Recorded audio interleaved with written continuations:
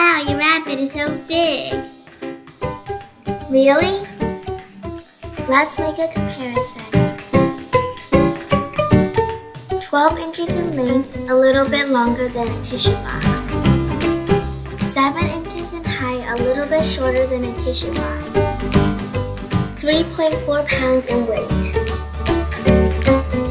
Does his size look big to you? Most people think rabbits are small.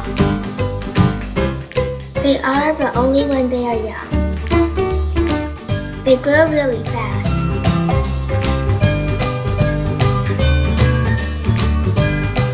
For Holland Lop rabbits, they will be fully grown when they reach 6 months old.